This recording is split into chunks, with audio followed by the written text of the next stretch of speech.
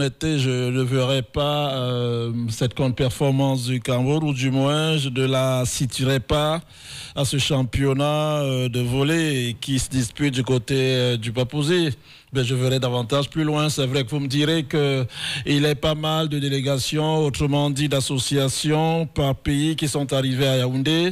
Mais ben, ces associations-là connaissent une accalmie certaine, c'est-à-dire qu'elles n'ont pas, pas connu ce bicéphalisme.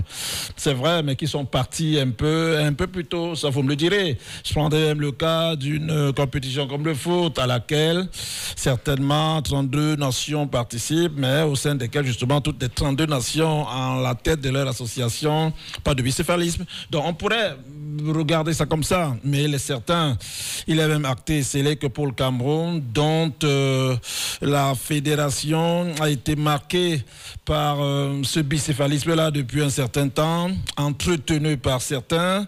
on ne fera pas l'histoire de se poser la question qui est légitime, qui ne l'est pas, mais euh, il est évident que cette Coupe d'Afrique des Nations ne s'est pas préparée dans les bonnes conditions à partir du moment où on avait à la tête à Boué, mais puis de l'autre côté Bello.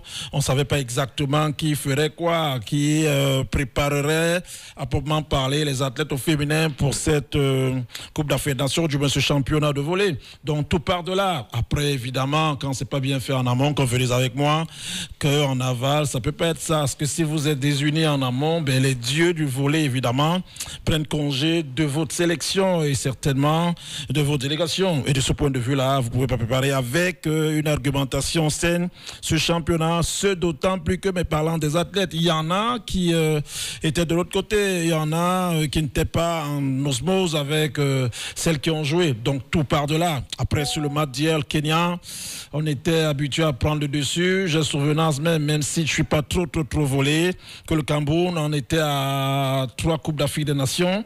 Puis voilà, que nous sommes détournés qui puisaient à domicile, qui avait un staff assez sympa. Voilà, les gens rompus à la tâche du volleyball, du côté de l'Hexagone notamment, mais qui prêtaient forte à la sélection du Cameroun pour produire les résultats probants.